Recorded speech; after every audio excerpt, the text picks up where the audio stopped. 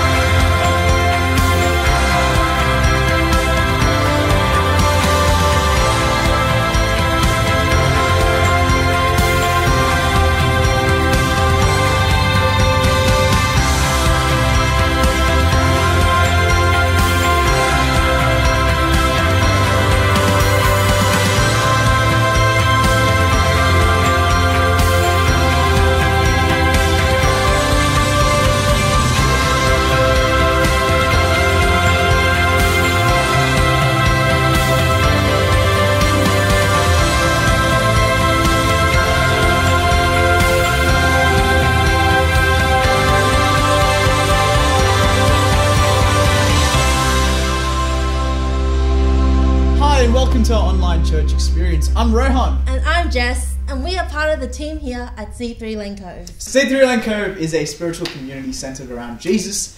And we're so excited to have you here at 10 a.m. Yeah. If you're new though, we'd love to connect with you. And one of the ways that they can do that is through the chat. Jump in the chat right now, say hi. We'd love to greet you and know you by name. Yeah. Otherwise, you can, you also... use our connection card, which is up in the menu. You can fill that out, and we'll be able to reach out uh, to you through there. Yeah.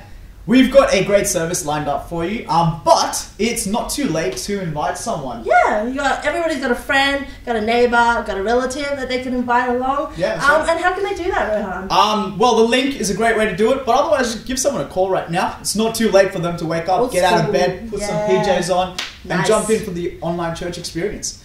Anyways, we're going to go into our prayer request right now, and Jess is going to lead us with that. Perfect. Let's go, church. Let's pray for these people. Lord, we thank, thank you, you that we have awesome people in our church, Lord. Yes, God. And we thank you that you yeah, care about everybody in our church, Lord. We pray right now for all these prayer requests that we that I have in my hands, Lord. I pray that you provide your help. You provide them with yes, health. God. You provide yeah. them with their needs, Lord, and that you be with them all the time because they're not doing life alone with you, Lord. Yeah, and we thank you again that you're a God who answers prayers, Lord. Amen. We have heaps yes, of answered prayer um, cards in here as well, which is super awesome, Lord. So thank you for everything that you're doing and that everything you'll continue to do through our church and our people. And we pray all these things in Jesus' name. Amen. Amen.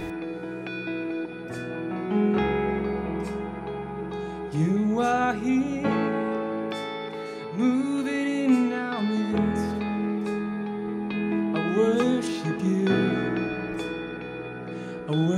you. Are here working in this place. I worship you I worship you. You are here, working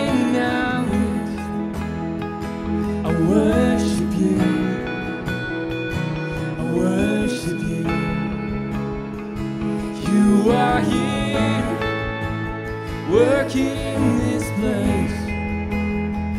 I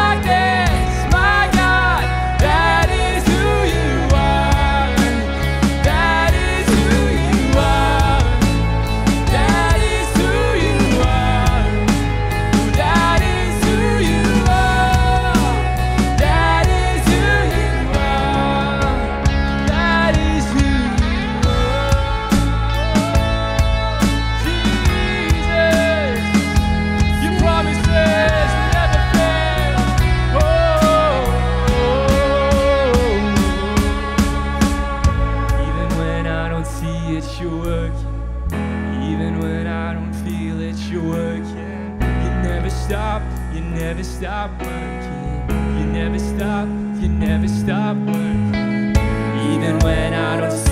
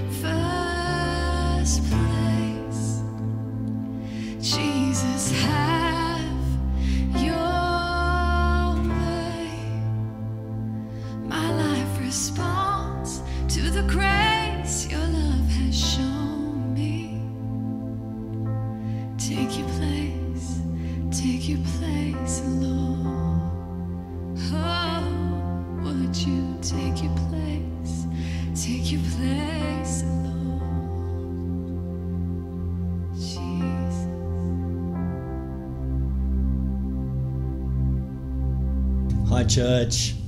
Hope you enjoyed that worship space. Everything we do in church is about worship. Worship is such a, a beautiful thing to be involved in. Worshipping God with our tithes and our offerings uh, is something we do every single week.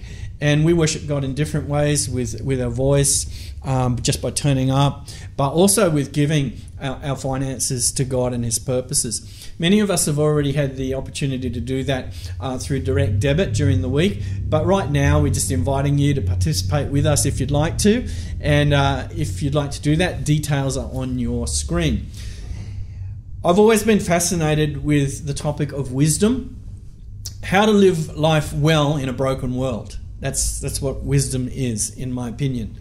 Um, Proverbs 3, verse 9 tells us something about wisdom. It says this Honor the Lord with your possessions. So I stop right there. Um, that's something that I never learned to do um, just naturally as a, as a child. I never thought that that was something that you should do, that you should honor God with your possessions, nor did I know how to do it. It was something that I needed to actually learn how to do. How do you do that? The next um, part of that scripture says, uh, Give to him the first fruits of all of your increase.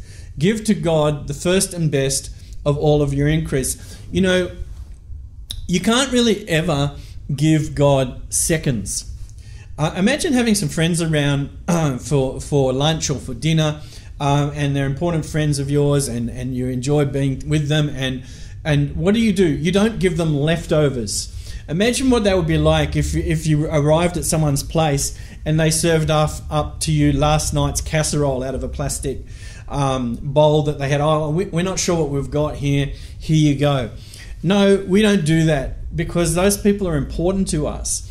And so we want to put out, give them our best. We want to put something special on for them to let them know that we really love them, that we really care for them, and we're really interested um, in the relationship. So it's the same with God. We give Him our best. You cannot, um, you cannot give God your leftovers. You cannot, um, you cannot appreciate anybody with leftovers.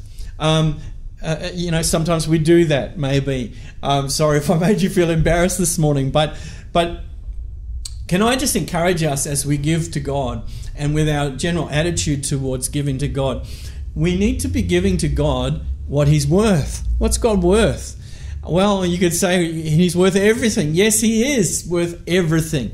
But God just asked us um, that when we come to Him, that we would give Him our best. Um, after all, we've got a good reason to do that. God gave us His best. He gave us Jesus, His one and only Son. He gave us His absolute best. Heaven sent heaven's best to us in order that we might be, know that we're loved and in order that we might be given something, eternal life. That is, that we might have a life. So, as we come to giving this morning, can I encourage you to, to give something to God? And let it be something that expresses your best towards God in Jesus' name. Let's pray. Father, as we come to you this morning and we come to worship you this morning, um, we are so grateful, Lord, that you gave your best for us. And we want to be like you in every way. So, Lord, we give to you our first and our best in Jesus' name. Lord, as we honor you with our possessions, you've promised also, on top of that, that you will fill our lives with your best. And uh, that, that our, our houses, our, our jobs, our relationships, and all of our world will overflow with your best. Thank you, God, in anticipation of what you are going to do in everybody's life. In Jesus' name, amen. Good morning, church. My name is Pastor Ben, and we're going to share communion together. And I just wanted to invite you, uh, whoever you are, that you are welcome to join us as we share this meal together. Just get yourself a little bit of bread and some juice. Uh, this is an open invitation from Christ and from us to participate uh, together in this. And as we get ready to do this, I wanted to read to you from Ephesians chapter 1, verse 20 to 23. It says, God demonstrated his power in the Messiah by raising him from the dead and seating him at his right hand in the heavens, far above every ruler and authority, power and dominion, and every title given, not only in this age, but also in the one to come. And he put everything under his feet and appointed him as head over everything for the church, which is the body, the fullness of the one who fills all things in every way. What an encouraging, powerful section of scripture that is. That though Christ was dead, he was resurrected in power. And the great promise the great reality is that you and I now become his body. His church is his body. And although his body was broken on the cross, he was raised in power and given all authority, which means that we, as his body, are unbreakable. To me, this is so encouraging right now because it might feel like we are stretched. You know, there's 250 of us, maybe more, in maybe 100 homes all across this Sydney region and beyond. It feels like the body of Christ is stretched. But we might be stretched, but because of the resurrection and the power in Christ, we are unbreakable. In fact, the very power and authority that God poured into Christ, He now pours into His church, into you and I, so that we might be the fullness of Him to our world. As we come to eat this morning this bread and this juice together, you might be sitting there in your room alone staring at a screen, but I wanted to encourage you that this is not an alone moment. You might be looking at this moment as just a symbol, but it's not just a symbol either. This is a unified moment of grace for His body, the church. As we eat the bread and drink the juice together, there is grace that unifies us not only one to each other, but all of us to Christ the head together. There is grace that will come and fill you afresh with the power and the authority that is Christ's Himself. And there is grace that means that even though we may be stretched across this region, the body of Christ, the church, might not be able to meet physically, we might feel like we're being stretched. The grace present here means that we are unbreakable and better than that, that we are the fullness of Christ's presence by His Spirit to our world. You know, this morning, church, as you eat and drink, I want to encourage you that this is unifying, that this is filling, and this is a presence moment. From this moment, we go forward carrying the presence of Christ to our families, to our friends, to our baristas. This meal is a reminder and a moment of grace for each one of us. Would you let me pray for you this morning? Heavenly Father, Jesus, we thank you for your death on the cross, that you defeated every power and authority against us. Lord, we thank you for your blood poured out, the promise of relationship with you. And this morning, Lord, we pray that you would make your body unbreakable, that grace in this moment would unify us, would fill us, and would send us with your presence. In Jesus' name, amen.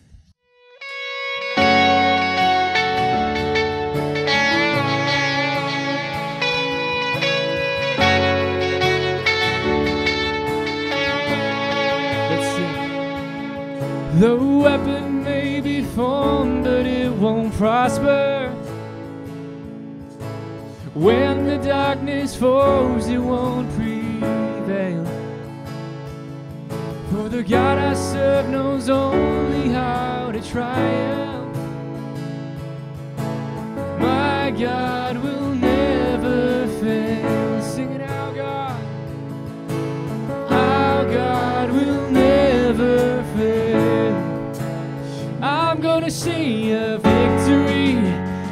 gonna see a victory, for the battle belongs to you, Lord. We're gonna see a victory, we're gonna see a victory, for the battle.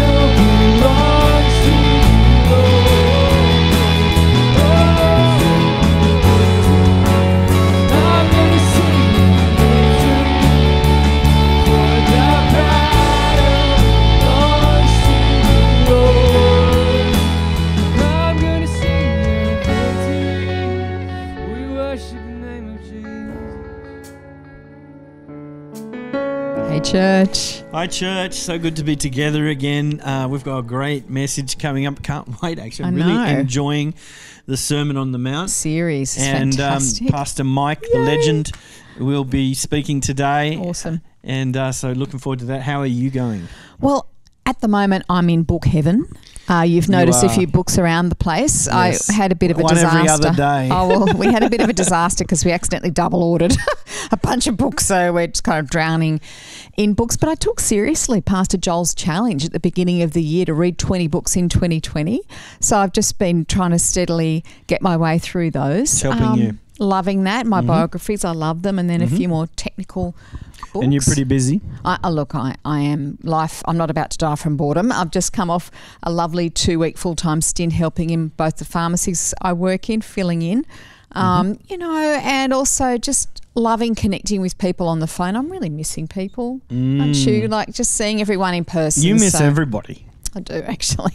um, yeah, so just trying to just chat on the phone and pray for people. I really, really loving that. And Mm. actually, on another note, we've got a bit of a baby boom happening around well, church. you know, isolation. Yeah, you know what they say. um, no, we've already had. I've worked out in this year we'll have at least six babies Wow. born, unless somebody's got an unknown set of twins, maybe. But uh, we've already had three gorgeous babies born Yeah. in the church, and coming up next, uh, Donna and Ming. A big shout out uh, to them, and also Lily and Jackie. guys. Yeah, we're praying Yeah. for you guys, and in the next few weeks, we're going to have another couple and one more mystery one towards the end of the year. Ooh, So Now I've you've just found started out- the gossip. I know. So we'll be praying for you. And, you know, it's also been wonderful seeing so many visitors uh, in worship spaces Yes. coming as we've opened up and folks are bringing their friends, Amazing.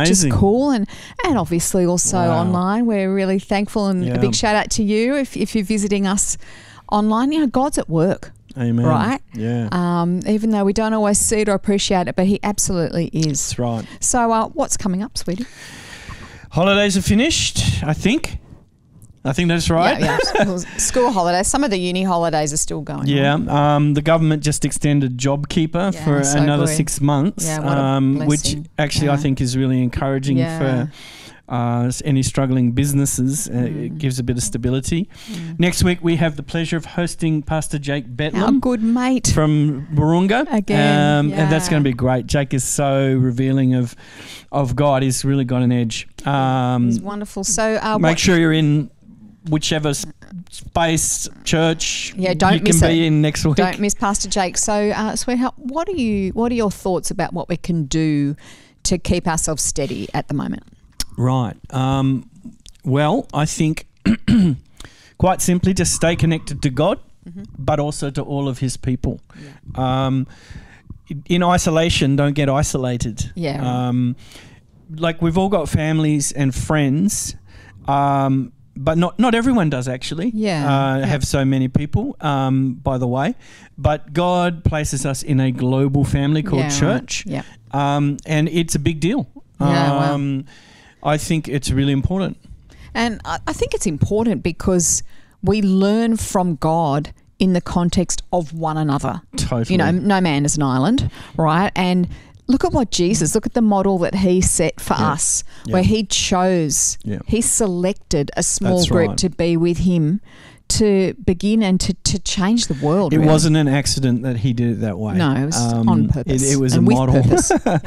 Look, we're in a massive shake-up uh, in the world, and um, but God is always thinking about securing our future, which He shaped Yeah. through Jesus. Um, our PM just said that now uh, is the time to lift our eyes as a nation, and I, I think so encouraging. um, despite the Victorian outbreak at the moment, that shouldn't change that. We have to lift our eyes. Mm. Faith should not just be a, my personal faith Hmm. um, in Christ. Faith is meant to change the world around yeah, us. right. Um, and faith in Christ is about faith in a person who died because he loved the whole world. Wow. So let's have faith for the future now. Yeah. And I believe, we hope that we can actually impart some of that, stimulate you in some of that Yeah. um, through our church. Okay, so shall we pray? Yeah, let's do that. God, we are so thankful Yeah. for your people Amen. everywhere, that you are right here in the midst of us. You're not far away. Yes. Lord, I pray for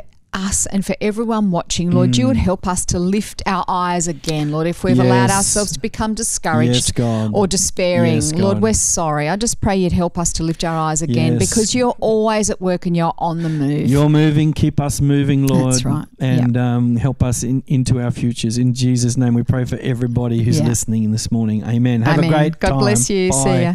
Well, welcome to week three of our Sermon on the Mount series.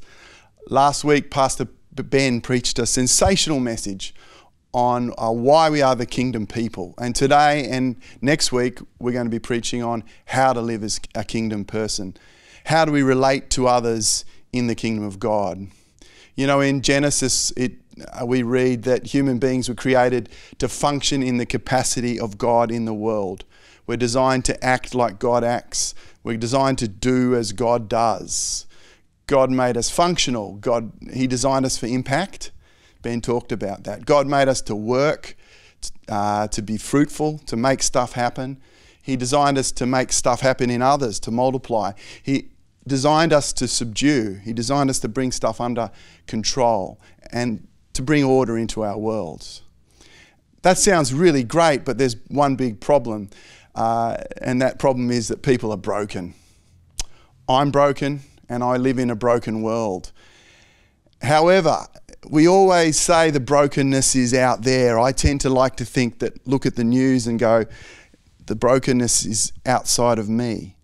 And the big, big lie that we all that we all sort of believe, and it's an ancient lie actually, is that we can arbitrate between right and wrong independently of God. We don't actually need God in the picture.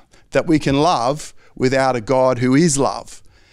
It's an absurdity. That we can uh, love the world and others without God who is love sitting at the table with us commenting.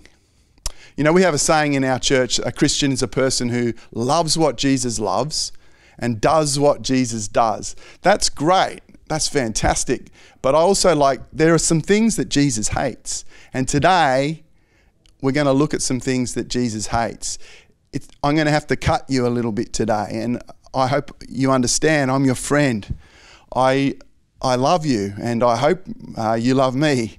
And I've been through this, uh, looking at these scriptures uh, a little bit, and I've discovered that, uh, real, this stuff's cut me. And there, because there are some things that Jesus hates. He hates contempt. He hates it when we hold it, we, when we say a person has no value. That's antithetical to love. That's the opposite of love. Love says every person has intrinsic value. Jesus hates disloyalty, not sticking it out, running when the going gets tough. Because God's love is a rugged commitment. God's love goes to the cross. God's love says, Father, forgive when we're hurling insults at Him. And the other, the third thing we're going to look at is lies. Well, that's pretty easy. The Bible tells us that the devil is the father of lies. He manipulates words for selfish ends. Whereas the scriptures say love rejoices in the truth. So, as the people of God, I hope you understand, we have to take seriously what Jesus takes seriously. And God wants to cut us for our good. He wants to, he wants to get inside and with his precision, a holy scalpel, cut out those things in our lives that are getting in the way of the kingdom having the full impact on our world. Jesus isn't cutting us because he takes pleasure in cutting, but because he wants to remove things that are killing us so that we can be kingdom people. So, with that in mind, we're going to look at three parts from the Sermon in the Mount. We're going to look at anger, lust or desire, and lies or our words. The first one, anger, comes from Matthew 5, verse 21. It says this You've heard it said to our ancestors, Do not murder, and whoever murders will be subject to judgment. But I tell you, everyone who is angry with his brother or sister will be subject to judgment. Whoever insults his brother or sister will be subject to the court. Whoever says, You fool, will be subject to hellfire. So, if you're offering your gift at the altar and there you remember that your brother has or sister has something against you, leave your gift there in front of the altar. First go and be reconciled with your brother or sister and then come and offer your gift. Reach a settlement quickly with your adversary while you're on the way with him to the court, or your adversary will hand you over to the judge and the judge to the officer, and you'll be thrown into prison. Truly, I tell you, you will never get out of there until you have paid your last penny. Wow, these are hard words by Jesus, and I think it's dealing something with something that we all struggle with. Something that we all really, if we're honest, struggle with the area of anger. If I'm honest, I get angry about things every day. I'm pretty quick to get angry at that guy who cuts me off in the traffic. I'm pretty I'm pretty quick to get angry with somebody if they if they come across me or they tell me something that's wrong with me and I don't know them. But Jesus is the fulfillment of the law. And the law, uh, Pastor Ben told us last week, is God's intention for the world written down. If that's the case of the law, and if Jesus is the fulfillment of the law, then Jesus is God's intention for the world lived out. And but what does that look like for us? If we are God's people, if we are created to be in the image of God in the world, what does it look like for us to live out God's intentions in His family, the church? Well, there's two things I need to say. This is a problem with people, but people are God's purpose. God wants a people to make himself present with, to present himself amongst. And the whole of the Bible is the story of God making a way for himself to be present with people. But people are also the problem. They're God's purpose, but they're also the problem. But the difference between God's rule and reign being active and my personal rule and reign comes down to how I think about and respond to people. So I ask you this question, and I think it's an important question. Do you think of people as a hindrance or a help? Are people helpful or are they a hindrance? Well, viewing people according to their utility, what they can do for us, that's a dangerous place to be actually. Because as soon as they're not long, no longer smart enough or talented enough or skilled enough, we ditch them. I, I remember the opposite can also happen. I remember one story when I was at the Conservatorium of Music studying. I was a young, young musician, upcoming musician, and I didn't know that many people. I was a bit tentative.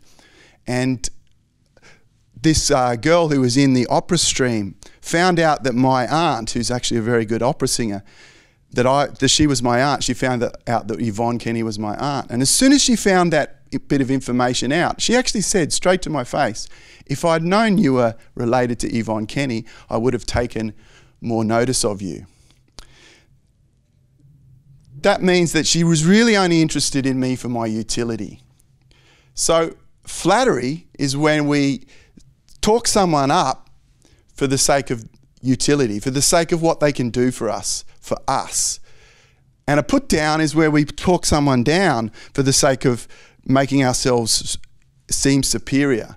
Either one, the Bible says, is wrong. Either one is really all about us, it's self focused. So the Bible tells us in 1 John if anyone says, I love God and yet hates his brother or sister, he's a liar. For the person who does not love his brother or sister who he has seen cannot love God who he has not seen. So there's a link between how we view and treat people and how we view and treat God.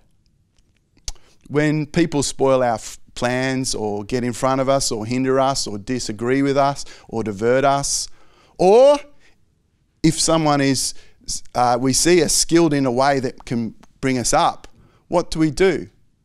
We, we, can get, we can go to flattery or we can get angry. When the person is getting in the way, we feel an anger. When, when someone comes against us, says something against us, it's natural to feel anger. And the psalmist tells us in Psalm 4, verse 4 Be angry, but do not sin. Reflect in your heart while on your bed and be silent. So, anger, feeling anger is not the problem. It's what we do with that anger that becomes the problem in our world. How do we respond when we feel angry? It's natural to feel angry. I feel angry every day uh, when someone cuts me off in traffic. Sydney traffic is a great place to, to work on your anger problem. Just drive around a little bit in, in Sydney and it won't take long for me. But if we want to be God's image bearers in the world, what do we have to do? Well, Tim Keller has a great little saying that I'd love to share with you. He says we should be people who are like God in the world. So that what is God like? Well, he doesn't have blow anger. He doesn't blow his stack. He doesn't just feel angry and immediately go into a rage. Not blow anger.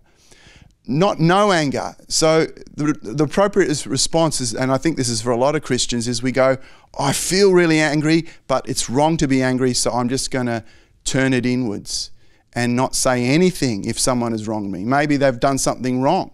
Because Jesus in this passage says it doesn't matter whether or not the person you're the person who's getting angry or on the on the other receiving end of it.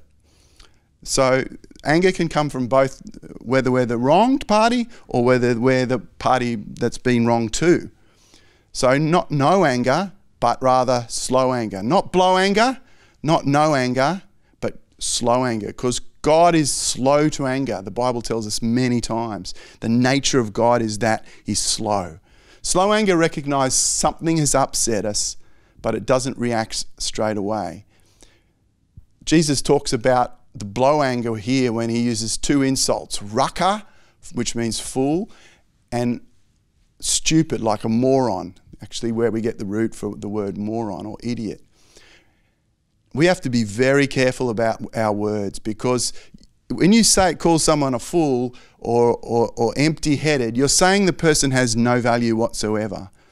And now that is antithetical to the gospel. That's the opposite of how God treats people who say the wrong thing or do the wrong thing toward us.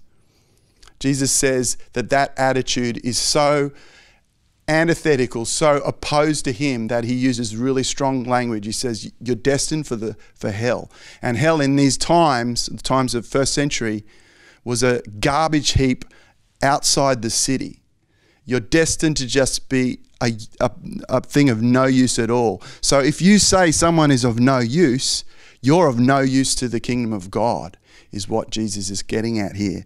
He's not mincing our words. And if that doesn't cut us a little bit, then I think we need to get on our knees and say, Jesus, uh, I need to be softened here because I know that cuts me pretty deeply. We need so what is what's the take home? What do we do? We need to be intentional about keeping our relationships with our brothers and our sisters in, in Christ sweet. Jesus even says it's so important that even when you're offering, when you're doing something, when you're in the middle of worship and you suddenly understand that, that, uh, that you, your brother has something against you, your sister has something against you, put the offering on the ground and go and talk to them. That's how big a deal Jesus sees this. So be careful of the put down. Be careful of writing people off. Be careful of cancelling people out. We live in a cancel culture. Don't do it. Don't even be careful, just don't do it. A dumb idea does not equal a dumb person. Be careful of our cancel culture. Christians, we fall out. We have differences of opinion and we're subtle about it. We're not, but we can be nice to someone's face, yet in our heart we haven't forgiven them. Jesus says we need to forgive. And we need to, and the next thing we need to do is we need to settle our disagreements face to face. We need to own the fact that something has upset us and just can we have a coffee? Something you said really upset me. I, I know you probably didn't mean it this way, but this is how it felt to me. Can we have a discussion about it? Bring Jesus into the middle of it and we can move on. Ephesians 4 31 to 32 says this Let all bitterness, anger, wrath, shouting, and slander be re- removed from you, along with all malice, and be kind. This is what the kingdom people look like. We're kind. We see people as the same as us kind and compassionate to one another, forgiving one another, just as God also forgave you. Number two, we're looking at desire or lust. Love is loyal, and God hates disloyalty. Matthew 5:27 says this, "You've heard that it was said, do not commit adultery, but I tell you, everyone who looks at a woman lustfully has already committed adultery with her in his heart. If your right hand if your right eye causes you to sin, gouge it out and throw it away, for it is better for you that you lose one part of your body than for your whole body to be thrown into hell." And if your right hand causes you to sin, cut it off and throw it away, for it's better for you to lose one of the parts of your body than for your whole body to go into hell. So, sex is great. Let's just say that. God created sex. Let's start with the fact that God made it and He made it wonderful and He made it beautiful and He made it to be one of the highest and transcendent things that uh, uh, in a committed relationship that we can, we can have. And now I've been married for 22 years, and I can tell you that according to this precise definition of a, the, the precise definition of adultery, either as sleeping with somebody else, I'm, I'm a tick. But I can also tell you that according to the way Jesus talks about it, aligning my life with Jesus' view on adultery, if I'm honest, I'm a big cross, I'm a big fail. And it's a hard word because is it really true that even when I look at a woman the wrong way when she crosses my path, that I'm moving into that territory that Jesus hates?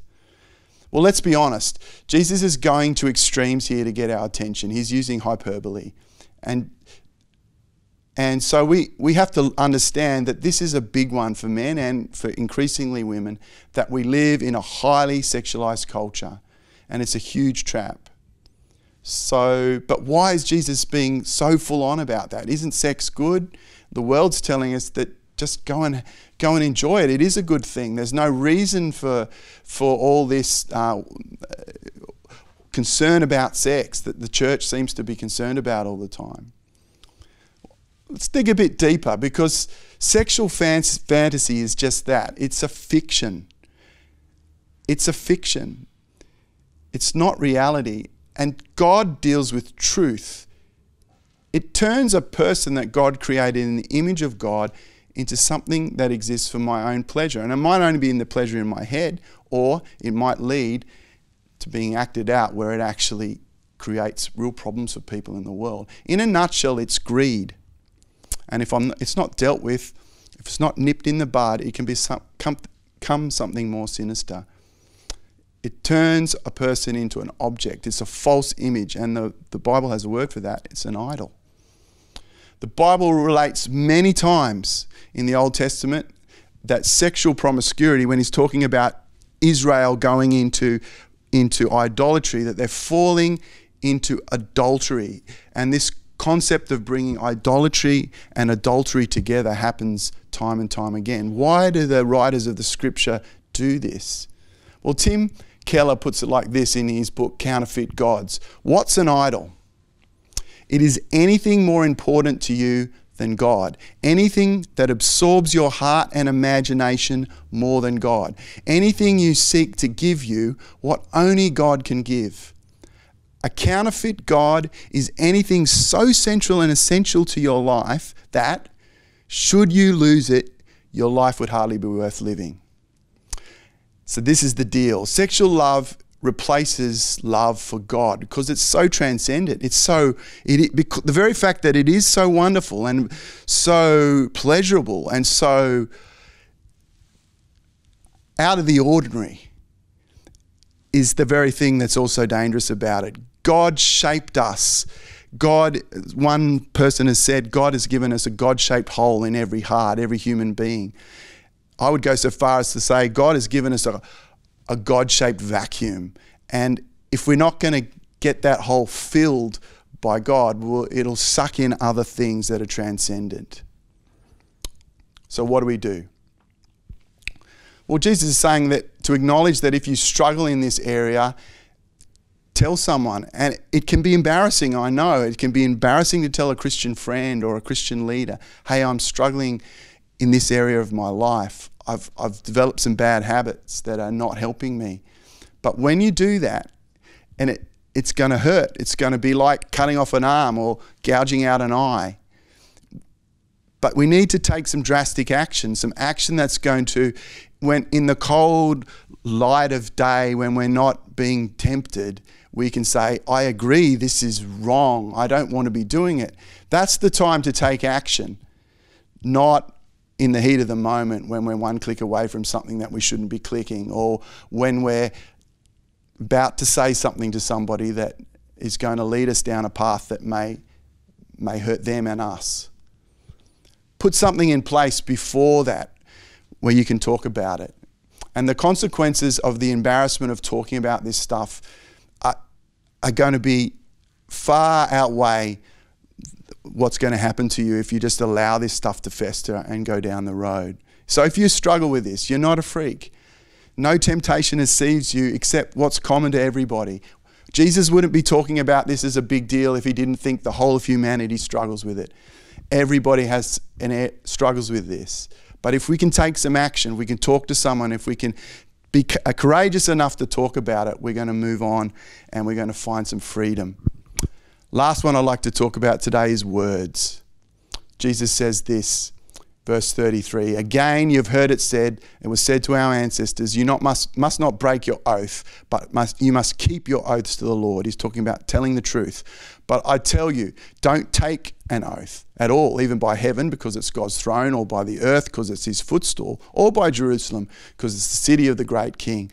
Do not swear by your head, because you cannot make one single hair of your head black or white or make it grow back. But let your eyes, your yes mean yes, and your no mean no. Anything more is from the evil one. Let's just put it this way the evil one's a liar, and he's a really good liar. He's really good at manipulating words. And he comes to Eve in the garden and he says this in Genesis 3:1, the serpent was the most cunning of all the wild animals that the Lord God had made. He said to the woman, "Did God really say you can't eat from any tree in the garden. He puts that to Eve. It's a really interesting statement because it's almost exactly word for word what God said, except for one word. Because God really did say something very close to that. But this is what God actually said. He said, You are free to eat from any tree in the garden. The devil's words were, You can eat from any did God really say you can't eat from any tree in the garden? God's words were, you are free to eat from any tree in the, of the garden. There's only one word difference. That's the difference between can and can't. The difference between God and the devil is one word can and can't. Who can forgive our sins? God. The devil can't. We can't, by any kind of our words, make the life we want it to be. God can. And Jesus uses two words here. He says, Let your yes be yes and your no be no. Could it be even more plain? God means what he said, the devil hides it. God creates, the devil manipulates. God lays it plain, the devil baits. God is a word, God's word is a wound that leads to healing. The devil's flattery leaves a sickly feeling. In my guts, it lays me low. It says, You can't, when Jesus says, Go. The evil one manipulates, but God orders chaos. His word recreates. Are your words creating possibilities in people, or are they manipulative? It's a very simple question. The evil one manipulates words to get his own way. God's words create. He orders chaos. He does what he says. God's after people who are trustworthy with their words. What's the take home? If you say you're going to do something, do it. If you say you're going to be there on a certain time, be there on that time. If someone asks you to do something and you know you haven't got time, tell them you haven't got enough time. Be straight up. We're designed to do as we say because God's like that. Amen. I hope all of this has helped you. And I'm going to pray now because we've got, there was a lot to get through. So let's pray as we, as we end our message. Father God, in Jesus' name, thank you for all these words. They do hurt. We have to be honest that I have to be honest that in these areas of my life, I need your help. But Lord, you have placed us in the world to have an impact. You've placed us in the world to to to be truth tellers, to see people as you see them beautiful and in, and in your image. And we pray that you would help us to allow your kingdom to get a hold of us and to be your ambassadors in the world. For your name's sake, we pray. Amen. God bless you. What a great message that was this morning. I know God is speaking to you, and He's not just speaking to you, but He wants to make a connection with you inside your soul, inside your heart. And um, God loves us. He sent Jesus into the world to make to connect with us, to speak to us, and, and to show us what He is like. So this morning, what I'd invite you to do is simply this: just take a moment right now, close your eyes in prayer, and let's pray together. And what we're going to ask is, and what we're going to say to God is, Jesus, I want to give you my life. So let's do that right now. Heavenly Father, thank you for sending Jesus to me. Lord Jesus, thank you for dying in my place for my sins. Forgive me. And Jesus, I give you my life. I trust my life to you. If you prayed that prayer this morning, then something from God is going to happen in your heart, in your soul and um, we can explain more about it. And we'd love to make a connection with you today. And so we would invite you to just uh, reach out to us, and you'll see details on the screen uh, uh, to show you how you can do that. So God bless you. Have a great day. See you again. Wasn't that just the most awesome service that you've seen? Such a good message. Um, really looking forward to going through that in my own time, actually. Yeah, and you can do that using the link that we have provided you with. You can share that on your social media or send it to your friends or family. Yeah. Um, but other than that, look forward to seeing you guys next week. All right, bye. Bye.